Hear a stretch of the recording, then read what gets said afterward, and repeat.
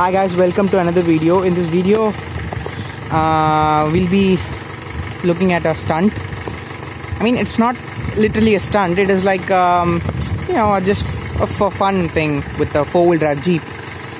Uh, especially for with cj 500 and let's see how it looks like and what do you feel? Please comment below.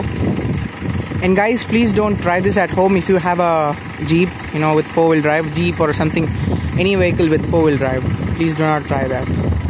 It is done with only um, you know a lot of practice.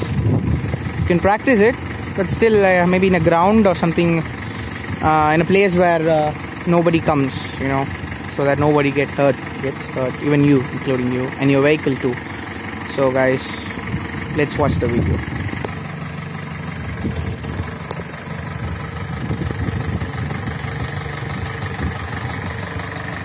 now there is no driver in the car. The car automatically runs. When the four wheel drive low option is engaged we do not have to you know sit in the car and give you accelerator. It will give you a walk. Exactly. You can walk with the car like a pet you know. The car just you know gives you a walk with you like as if it's your pet though it's your pet still not every car can do this. If you have a CJ500 I'll teach you how to use this option in the last end of this video. You know to again control the car you just have to sit in the car. You know? And again you can control it with the two high option I the car also goes reverse in the same torque without giving any acceleration.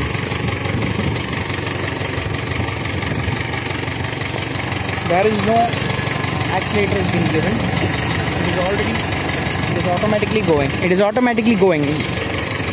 Just have to control it because uh, you know little more cautious required.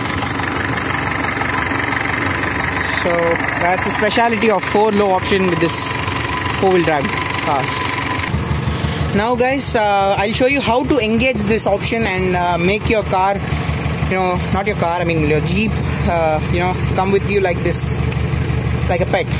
Now first you engage the uh, first gear and then engage the four high option.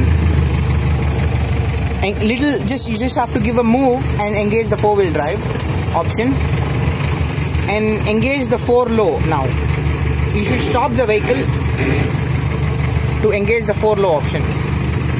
Now once the four low option is engaged the vehicle gives a move automatically with its torque. And now you don't have to give any accelerator.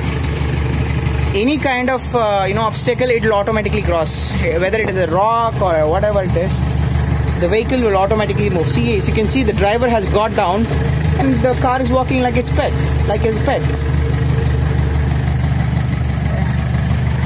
lot of leg room right? It's modified seat